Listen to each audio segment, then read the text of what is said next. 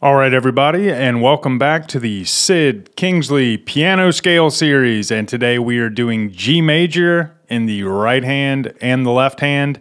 Last week we did the G flat major, kind of difficult. The G major scale, one of the easiest scales to learn, one of my favorite keys to play in in general, just because of my singing voice, just happens to fall right in that G major.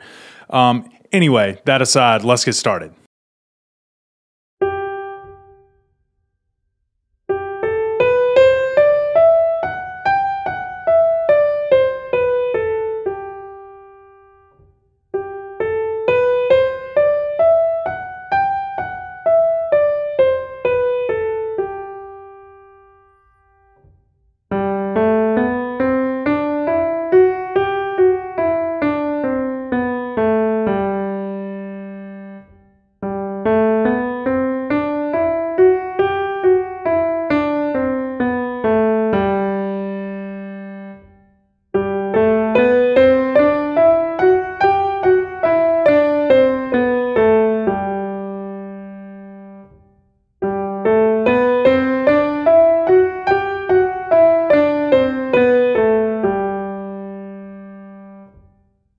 All right. So, what'd you think?